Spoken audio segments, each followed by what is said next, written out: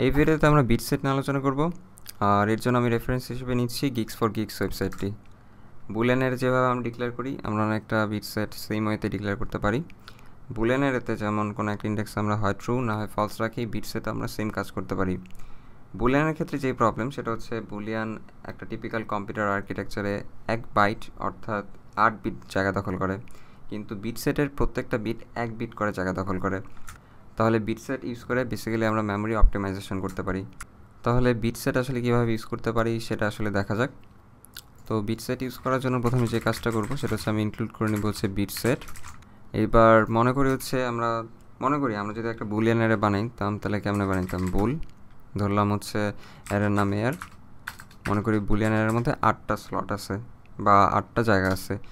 তো এরকমভাবে বিট যদি আটটা বিট আমি নিতে চাই বিট সেটের মাধ্যমে আমি জাস্ট লিখব হচ্ছে বিট সেট এটার মাঝখানে হচ্ছে আমার সাইজ সাইজ দিলাম হচ্ছে আট।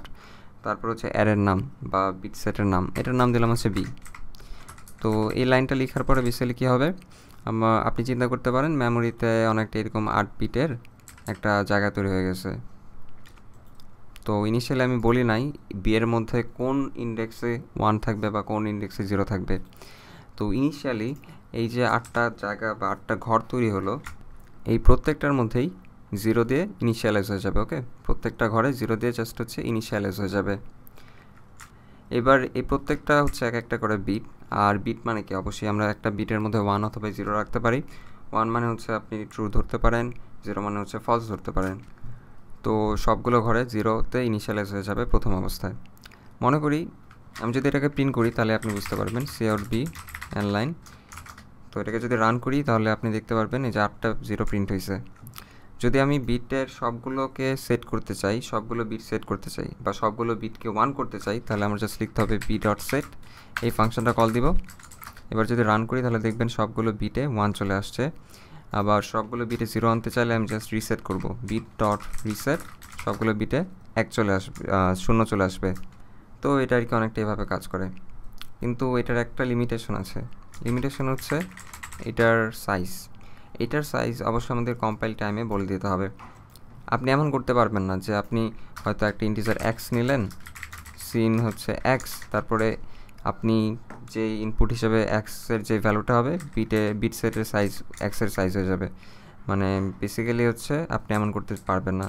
এই জায়গায় অবশ্যই আপনার একটা, এটার যে সাইজটা আছে, এটার সাইজটা অবশ্যই আপনার আগে থেকে বলে দিতে হবে কম্পাইল করার আগে থেকে। হয়তো কিছু কিছু ক্ষেত্রে কাজ করবে, কিন্তু এটা আসলে কাজ করলেও প্রবলেম হতে পারে আর কি পরে। তো বেসিক্যালি হচ্ছে আমরা এমন আর কি করতে পারব না। এটার সাইজ আমরা ডায়নামিক্যালি বেসিক্যালি ইউজ করতে পারব না। এটার সাইজ আমাদের কম্পাইল টাইমে বলে দিতে হবে। তো তোর জন্য আমরা এই জায়গায় যে কোনো একটা ভ্যালু ইউজ করতে পারি ইন্টিজার ভ্যালু অথবা আমরা যে কোনো একটা কনস্ট্যান্ট ইউজ করতে পারি।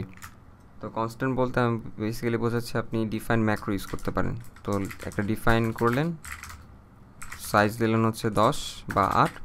তো এই জায়গায় আটের বদলে আপনি সরাসরি সাইজ লিখতে পারেন। তো আর কি বেসিক্যালি এটা তো একটা কনস্ট্যান্ট তো মনে করি আমার যে বিট সেট আছে বিট সেটের মধ্যে আমি সেভেন এর ভ্যালু রাখতে চাচ্ছি।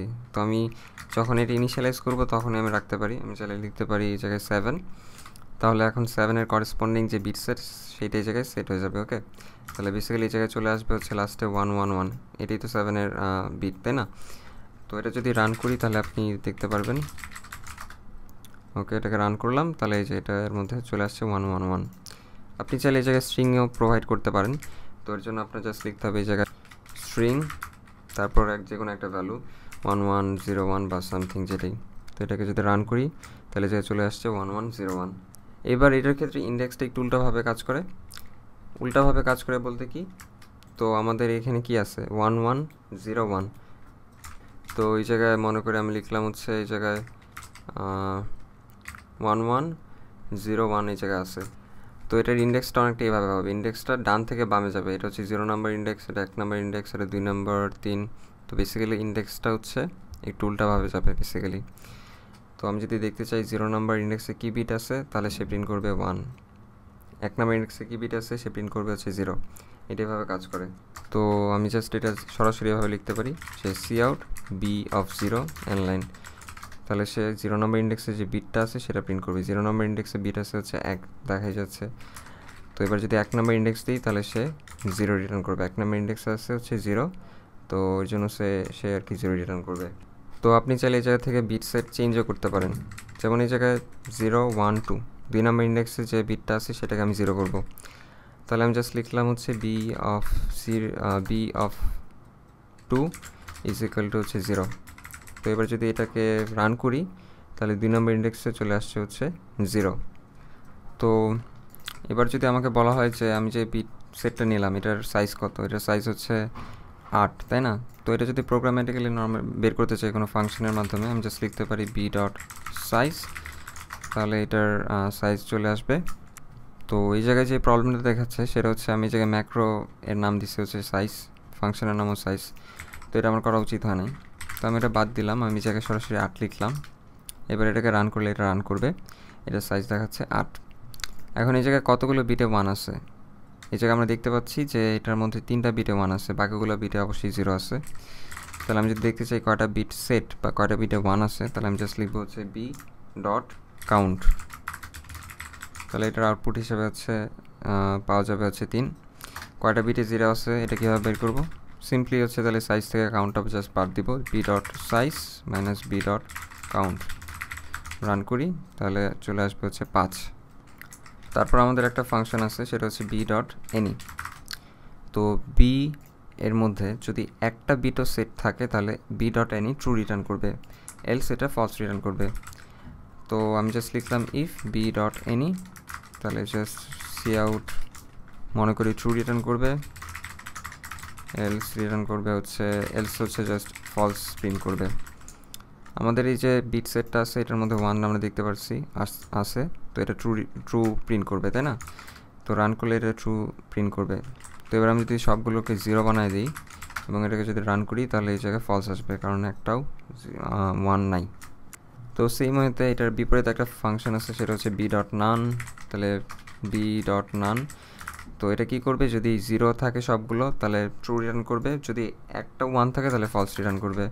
তো basically if b dot none তাহলে সি আউট দিলাম হচ্ছে ট্রু এলস সি আউট দিলাম হচ্ছে ফলস ওকে এক্ষেত্রে আমাদের প্রত্যেকটা বিটে জিরো আছে, এক নাই। তো সেক্ষেত্রে ট্রু এই জায়গায় প্রিন্ট হবে। যে কোনো একটা বিটকে ওয়ান বানিয়ে দিলাম রান করি। তো এবার এই জায়গায় ফলস প্রিন্ট হবে। তারপর আমরা যে কাজটা করতে পারতাম একটু আগে, মনে করি এই বিটের জিরো নাম্বার ইন্ডেক্সে বা এক নাম্বার ইন্ডেক্সে যে বিটটা আছে সেটাকে ওয়ান করব। তো আমরা তো এটা সরাসরি b of one equals one করতে পারি এভাবে। আমরা চাইলে এটা ফাংশনের মাধ্যমে করতে পারি। আমরা জাস্ট লিখব হচ্ছে বি ডট সেট তারপর ইন্ডেক্সটা পাস করব। এবার যদি বি প্রিন্ট করি, তাহলে এক নম্বর ইন্ডেক্সে আমাদের ওয়ান চলে আসবে। এই জায়গায় ওয়ান চলে আসছে। সেম ওয়েটা আমরা রিসেটও করতে পারি। তো এই জায়গায় দিলাম হচ্ছে রিসেট আমি চাচ্ছি জিরো ওয়ান টু অর্থাৎ এই ওয়ানটাকে জিরো করতে চাচ্ছি। তো এটার ইন্ডেক্স হচ্ছে দুই। দুই লিখলাম, এবার এটাকে যদি রান করি, তাহলে এই জায়গায় চলে আসছে জিরো তো এবার মনে করি আমাদের কাছে একটা বিট সেট আছে। এটার আমি সাইজ দিলাম হচ্ছে চার বি এটার মধ্যে একটা স্ট্রিং পাস করলাম।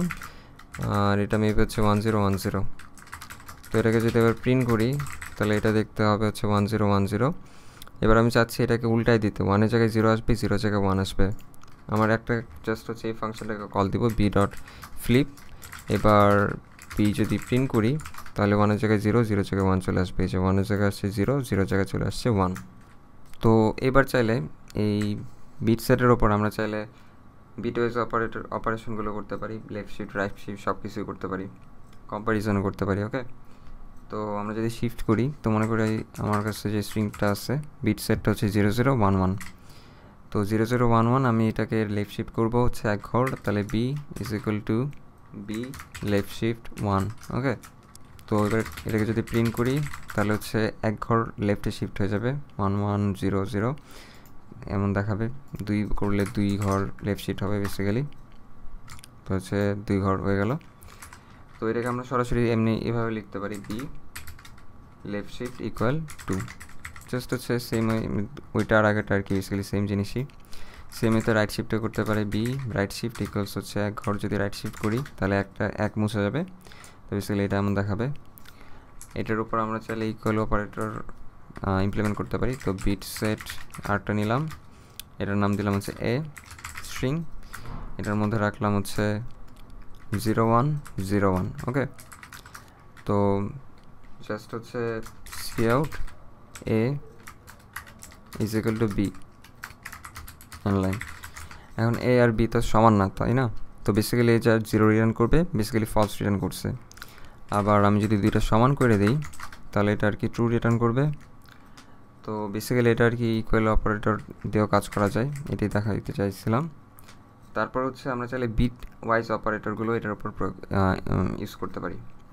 যেমন হচ্ছে আমি এই জায়গায় লিখলাম হচ্ছে cout a and b okay and line তাহলে বেসিক্যালি এটাকে ব্র্যাকেটের মধ্যে রাখি। এটাকে যদি রান করি, তাহলে এই দুইটার অ্যান্ড হবে। তো ওয়ান আর ওয়ান হচ্ছে অ্যান্ড করলে ওয়ান আসবে। বাকি এই জায়গায় জিরো আসবে, এখানেও জিরো এখানেও জিরো ওকে সেম হয়তো আমরা এই জায়গায় অর করতে পারি। আর এক্সর করতে চাইলে এভাবে এক্সর করতে পারি। তো এটাই হচ্ছে বেসিক্যালি বিট সেট তো নাম্বার থ্রির একটা ভিডিওতে আমরা সিফ নিয়ে আলোচনা করেছি। তো আপনি যদি ভিডিওটি দেখে থাকেন কিংবা আপনি যদি সিফ সম্পর্কে জেনে থাকেন, তাহলে আমরা একটা কাজ করতে পারি। আমরা আসলে বিট সেট দিয়ে সিফটা ইমপ্লিমেন্ট করতে পারি।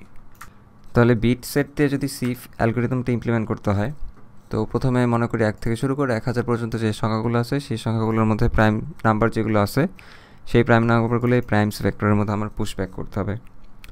তো প্রথমে হচ্ছে সিফ ফাংশনটার মধ্যে প্রথমে একটা বাইনারি একটা বিট সেট নিলাম। তো আমরা নর্মালি কী করতাম? একটা বুলিয়ান অ্যারে নিতাম। বুলিয়ান অ্যারের জায়গায় আমি জাস্ট একটা বিট সেট নিছি।